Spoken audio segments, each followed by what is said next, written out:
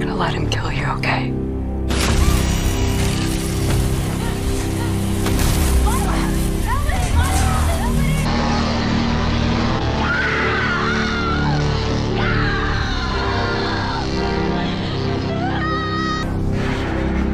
You did it now, boy.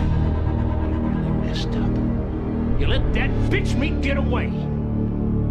Sally? I'm afraid your old friend's back.